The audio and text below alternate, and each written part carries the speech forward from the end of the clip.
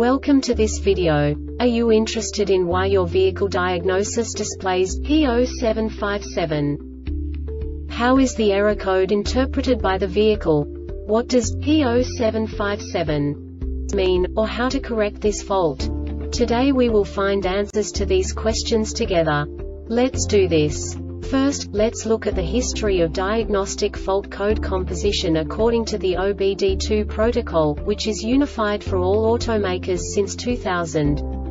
We divide the electric system of automobile into the four basic units. Powertrain, body, chassis, network. This distribution is defined in the first character code. If the second character is expressed as zero, it is a standardized error. In the case of numbers 1, 2, 3 it is a more prestigious expression of the car-specific error. The third character specifies a subset of errors. The distribution shown is valid only for the standardized DTC code. Only the last two characters define the specific fault of the group.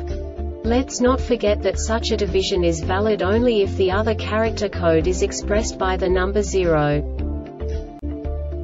Our website airbagreset.sk produces useful videos for you.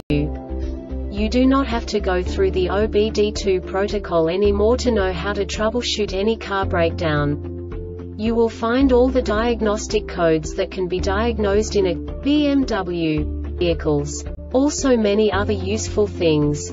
The following demonstration will help you look into the world of software for car control units. You unbelievably can move the video a bit further. The error code is split into two bytes consisting of 16 bits. One bit is the basic unit that each computer works with. The bit has two logical states. 0, low level, 1, high level. By combining the first two bits, the basic character of the error code is expressed. The next two bits again determine the second character.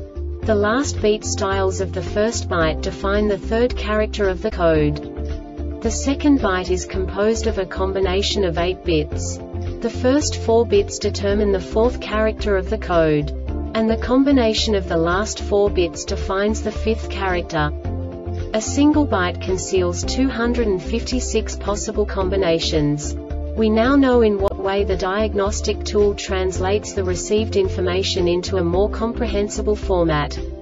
The number itself does not make sense to us if we cannot assign information about it to what it actually expresses.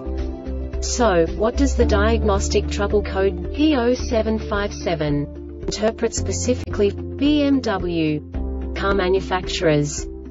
The basic definition is at shift solenoid 2B function range performance. And now this is a short description of this DTC code.